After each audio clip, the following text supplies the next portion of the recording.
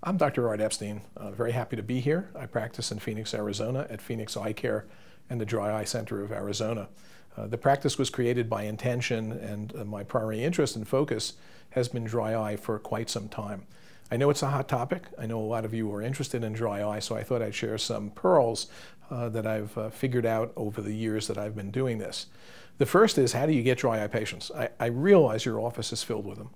Uh, but getting them into the chair as a dry eye patient is a very different story than having the patient just come in for a routine exam. So one of the ways of doing that is to do some initial screening using a speed test or an OSDI. Uh, you can identify these patients, have the uh, questionnaire scored by a technician uh, at the time it's completed by the patient. The issue of dry eye and the symptoms can be brought up and uh, uh, additional testing can be suggested by the tech uh, as the patient goes through the examination process. Another great way of doing it is using meibography in a screening mode, in other words, doing uh, perhaps just an inferior lid uh, or both inferior lids, uh, which can be brought up during the examination, either during the anterior segment portion or at the end of the examination, uh, and the patient can be educated about the importance of meibomian glands and their specific situation. I think you'll find that many patients have significant loss of meibomian glands which is a major, major issue.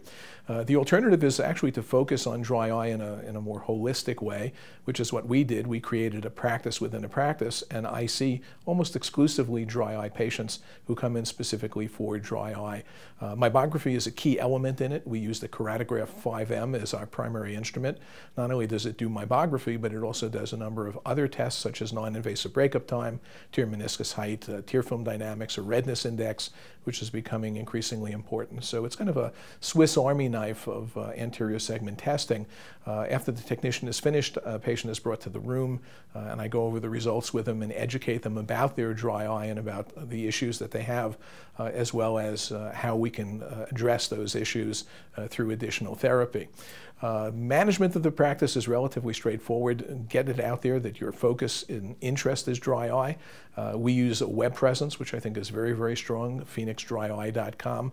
Uh, we get a lot of patients through the web uh, portal.